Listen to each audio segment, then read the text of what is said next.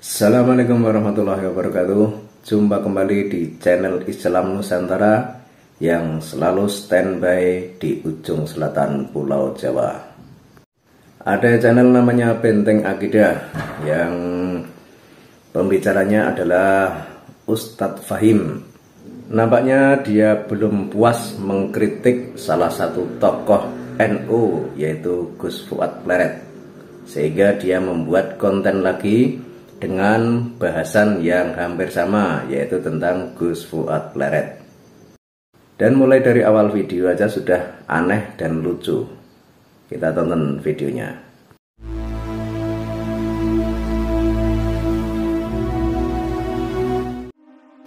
Gus Fuad Pleret dinasehati malah menyerang pribadi saya dengan ejekan goblok, pengemis, anak TK, dan lain-lain maka ini sikap saya.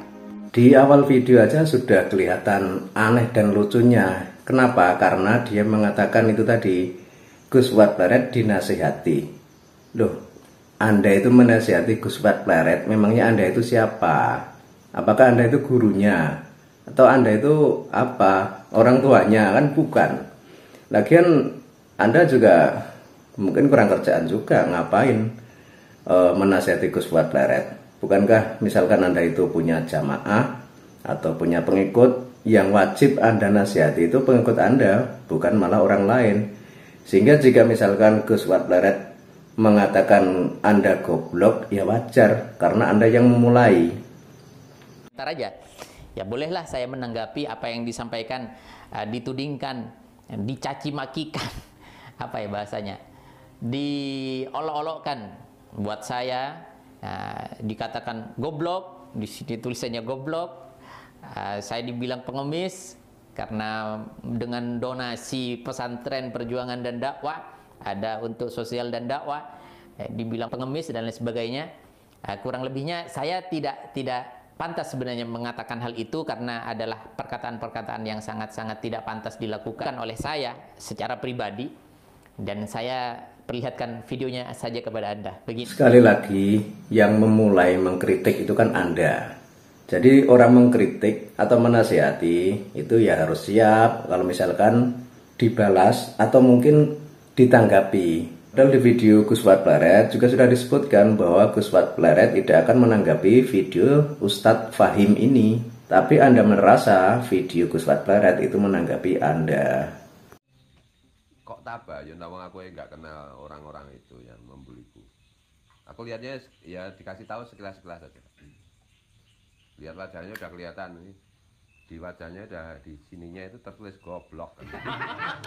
Nggak jadi nonton ya apa sih isinya? Aku tanya kadang istri kadang apa sih isinya? Akan menyampaikan satu hal penting dan ini sekaligus kita ngaji. Dan saya tidak akan menanggapi lagi apa pun yang disampaikan dengan tanpa ilmiah tanpa dasar, tanpa ilmiah. Kami tidak ingin membuang-buang waktu menyampaikan, menyikapi hal-hal yang tidak ilmiah. Jadi begini, ketika mengatakan orang itu jelek, ketika mengatakan hal-hal yang kotor, ketika mengatakan tudingan-tudingan kepada orang lain yang biasa dilakukan oleh mereka-mereka lah ya, kelompok-kelompoknya dan lain sebagainya mengatakan orang lain itu intoleran, radikal, kasar dan sebagainya. Padahal mereka terbiasa mengatakan goblok. Biasa mengatakan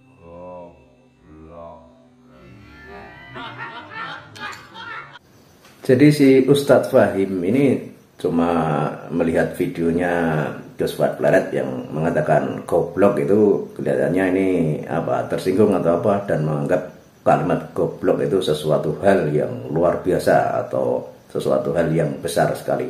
Namun mungkin dia itu lupa karena di video sebelumnya dia itu juga menghina bahkan melecehkan dengan menyebutkan bahwa Gus buat pleret itu pleretnya itu diartikan alat kelamin. Itu kan sudah pelecehan. Dan ini mungkin malah bisa menjadi tuntutan dan bisa menjadi masalah panjang. Karena nama pleret itu adalah nama kecamatan di daerah Bantul Yogyakarta. Dan mungkin di daerah lain juga ada.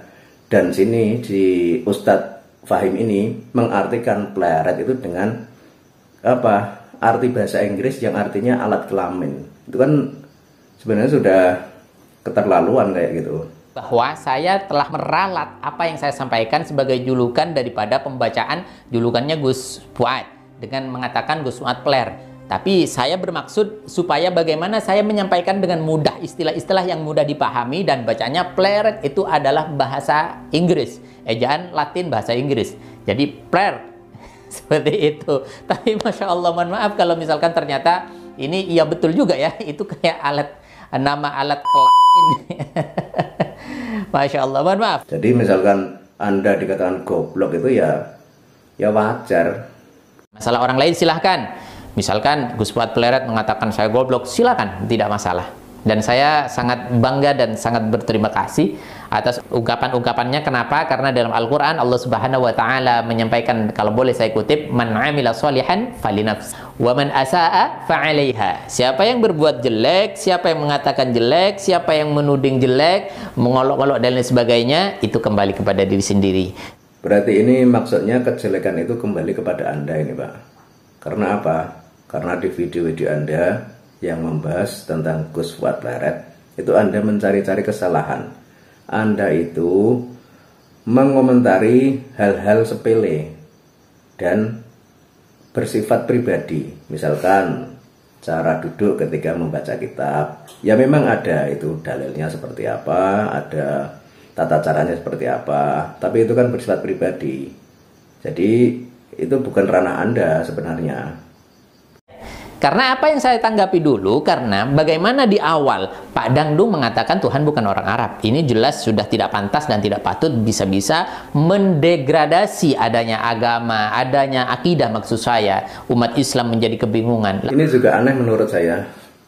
Anda mengatakan bahwa Pak Dudung bilang kalau Tuhan saya bukan orang Arab. Terus membuat umat kebingungan. Itu maksudnya umat yang mana Pak? Umat Islam. Nah, saya juga Islam, saya tidak bingung, Pak. Jadi yang Anda maksud bingung itu umat mana? Karena yang namanya umat Islam itu tidak hanya yang ada di lingkungan Anda atau di sekitar Anda atau di sekeliling Anda, tapi di luar Anda itu banyak sekali umat Islam. Dan mereka juga tidak apa-apa dengan ungkapan Pak Dudung itu. Tidak kebingungan, tidak resah, biasa saja. Lalu didukung sama si Kribo. Sama saja berarti apa yang dilakukan oleh Bang Dangdong dengan Kribo ini sama. Menista agama dan melecehkan agama. Dan ini sangat tidak patut dilakukan oleh orang Islam.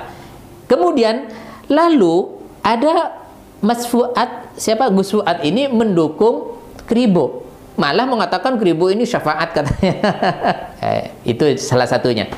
Jadi ini Pak Fahim ini mungkin sudah terbiasa atau sering ya membahas orang-orang itu ya membahas tokoh atau membahas pribadi seseorang.